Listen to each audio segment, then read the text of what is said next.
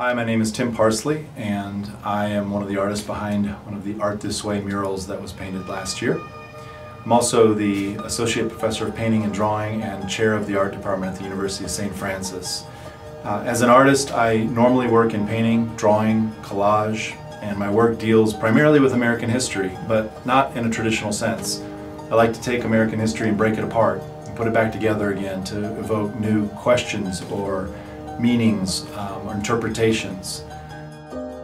This mural uh, depicts uh, a portrait of the poet Walt Whitman from the 19th century. He is reclining back uh, with his hands tucked into his heavy overcoat. He is looking at us with a full gray beard and he has a look of both knowing and perhaps a bit of tiredness in his eyes.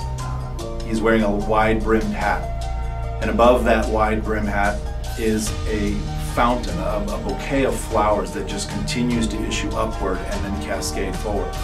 Whitman is painted in black and white, but the flowers are in full bloom and they are colorful and they continue to expand as they flow and cascade to the left, consuming the rest of the space of the mural.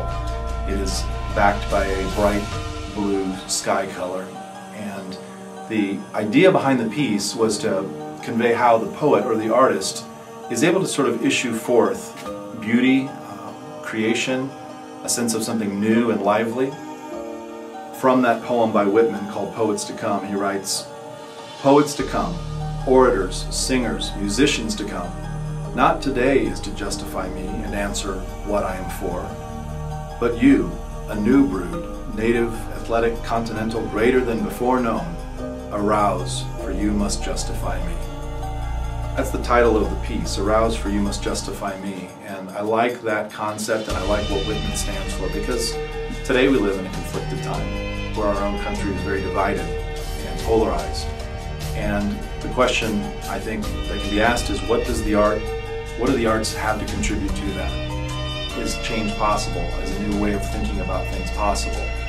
Whitman brought a voice into his culture that wasn't about the guns he wielded or the politics he had power to sway, uh, but rather his art. He brought his art into that time and spoke for people uh, in a way that inspired, challenged, uh, reminded them of the beauty that was around them. And I believe that that's something that we can do today. And so this piece is meant to call our attention to the past and perhaps what we do today as artists is through our own art justify what Whitman was doing in his day as well. For more information, go to artthiswayfw.com.